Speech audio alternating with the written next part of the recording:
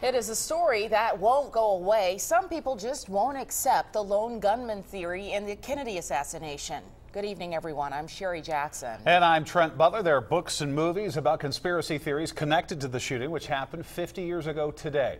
In part two of an exclusive interview with a retired FBI agent who talks with CBS 42's Mike McClanahan about the official findings in a different version of events, which is possible. If there was more than one shooter, there was a conspiracy.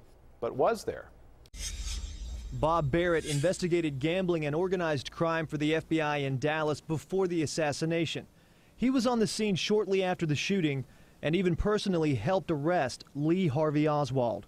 What about the theories that Oswald had mob ties?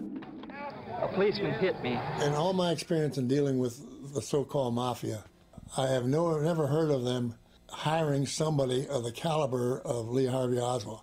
This was a, a man who had been twice diagnosed as being mentally disturbed. What about the convenient death of Oswald, shot by Dallas nightclub owner Jack Ruby?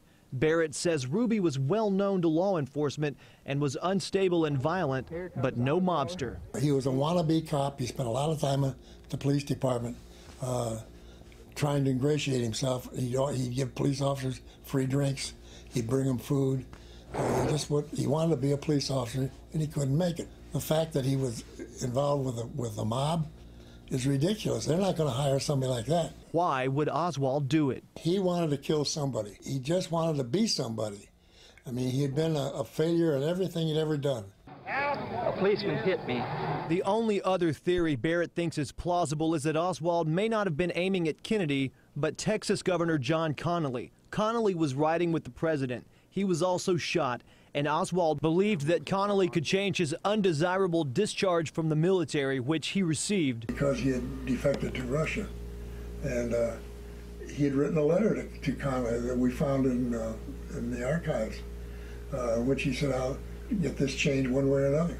If you're sitting, if you get in that window seat where, it, where he's made the shots from, the car's going downhill and going away from him, I always figured you had to aim a little bit higher because that, that bullet's going to drop some from that distance going down like this, it's going to drop some. And uh, I think he, he didn't account for that, and he, he was aiming at Connally. Could have been aiming at Connally. Either way, it's a lone gunman event in Barrett's mind. One person, one gun. No conspiracy. Mike McClanahan, CBS 42 News.